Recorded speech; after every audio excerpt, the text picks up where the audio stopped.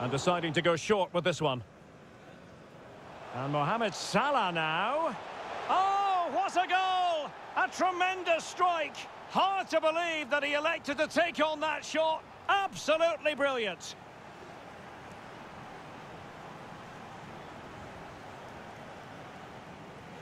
Well, here it is again, and just look at this. It's such good technique. It's a wonderful...